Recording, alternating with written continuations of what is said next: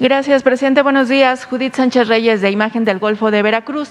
Presidente, tras el incendio en la línea submarina de Pemex allá en Campeche, no sé si usted ya cuente con algún informe que le indique cuál fue la causa que lo originó, si hay también alguna, algún estudio que sea, eh, bueno, sobre todo reporte sobre el daño ambiental en, respecto a lo que es la, la fauna marina en esa zona y si ya se cuenta también con una propuesta justamente para resarcir o menguar el impacto eh, del daño ambiental por este incendio.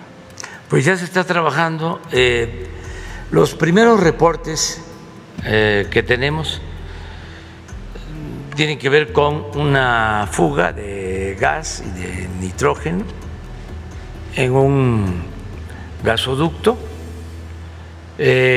que con eh, lluvia, con tormenta, con descargas eléctricas, este, eh, explotó.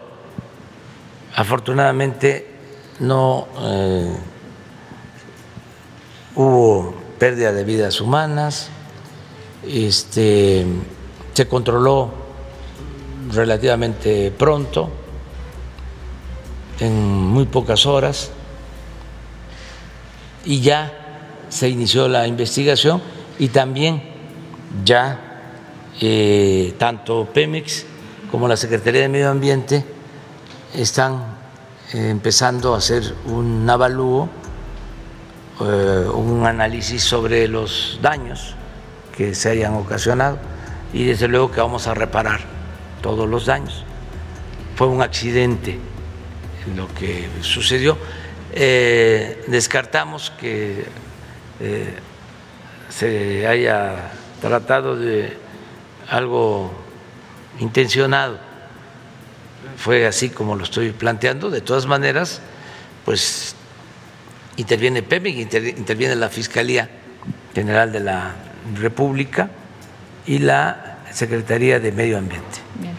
Eh, ante las críticas de algunos eh, grupos ambientalistas y activistas internacionales sobre este, este incidente, ¿el gobierno de México revisaría su modelo de combustibles fósiles o su política ambiental en materia de extracción de crudo, presidente?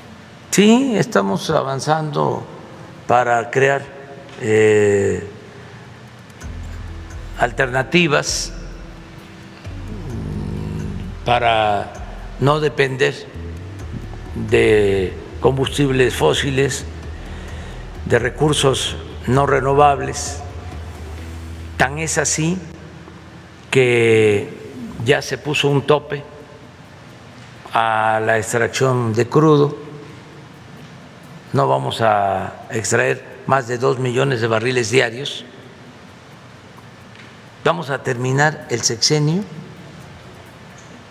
Eh, con la mitad de extracción del sexenio de Fox. La mitad.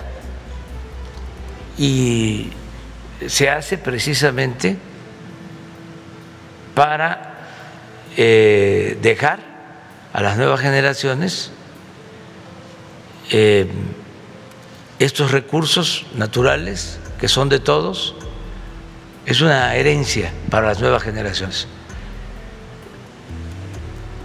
Esto ayuda mucho a la política de eh, mejorar el medio ambiente, de no deteriorar el medio ambiente, de contribuir para evitar lo del cambio climático.